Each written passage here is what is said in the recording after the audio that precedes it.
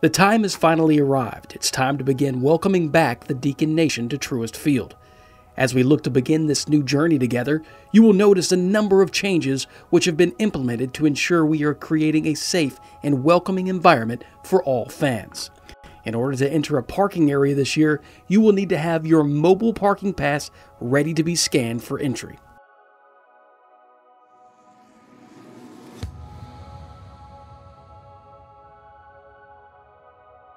When you leave your car and walk towards the Truist Field gates, remember to make sure each of your family members have their mask and, of course, your clear bag. As you approach your gate, please ensure you have your digital ticket ready up on your mobile device and ready to show our gate attendant. This season, we will simply ask that you hold up your clear bag to allow our staff to visually check it without physically touching it. Then, you will hold it in front of you as you walk through the metal detectors.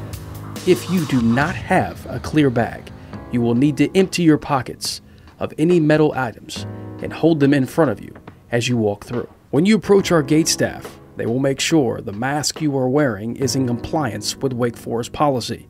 No neck gaiters or N95 masks with a vent, and that it is being properly worn. Once through the metal detector, pull out your mobile ticket and get it ready to be scanned. Please make sure the brightness on your device is turned all the way up for easy scanning. As you enter Truist Field, you will notice signage reminding you to socially distance, numerous hand sanitizing stations, and even special markings to create safe traffic patterns in our portals.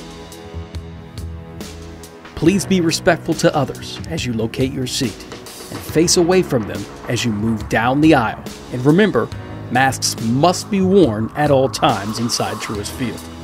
If you need to go to the restroom at any time during the game, please remember to use the appropriately marked entrances and exits and take that opportunity to give your hands a good 20 second wash.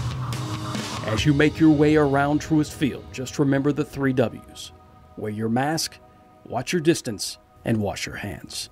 And most important of all, get ready to cheer on your Deacs.